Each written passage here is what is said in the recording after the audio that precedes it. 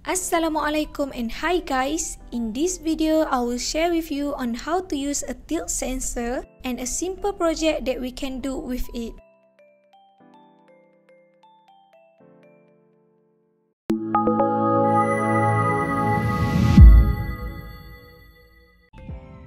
The hardware needed are Maker Uno, tilt sensor, mini breadboard, RGB LED, 220 ohm resistor and jumper wires.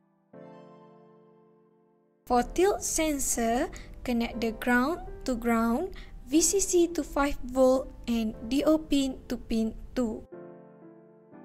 The RGB LED, the longest leg is the ground, then this is red, green and blue pin.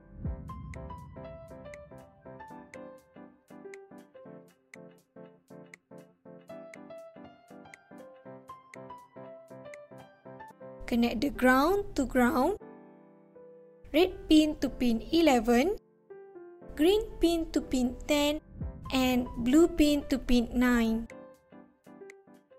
Open a new sketch on Arduino IDE. Copy and paste the sample code that we have shared in our tutorial. Then upload the code.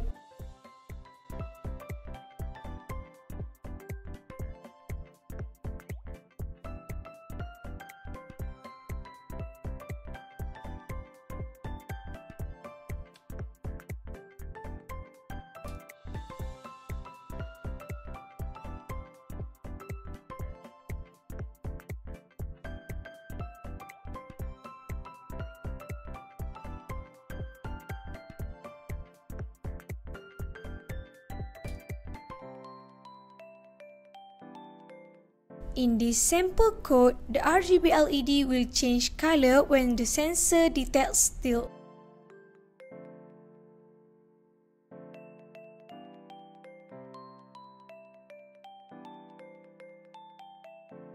That's all for today.